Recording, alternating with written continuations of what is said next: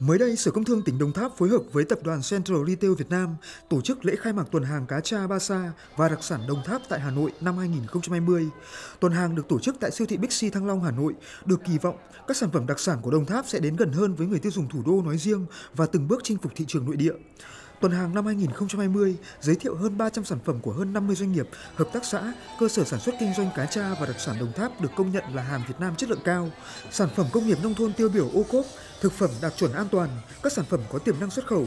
Chủ tịch Ủy ban nhân dân tỉnh Đồng Tháp Nguyễn Văn Dương cho biết, thông qua sự kiện này sẽ giới thiệu được sản phẩm của tỉnh đến với người tiêu dùng thủ đô Hà Nội và người tiêu dùng cả nước, đồng thời giúp cho các doanh nghiệp trên địa bàn tỉnh Đồng Tháp tìm hiểu thêm về thị hiếu của người tiêu dùng thủ đô Hà Nội. Qua đó, có phương án sản xuất, chế biến sản phẩm phù hợp với văn hóa ẩm thực vùng miền. Cũng tại lễ khai mạc đã diễn ra lễ ký kết giữa các đơn vị phân phối và các nhà sản xuất, hợp tác xã, hộ nông dân tỉnh về tiêu thụ và quảng bá các sản phẩm của tỉnh Đồng Tháp.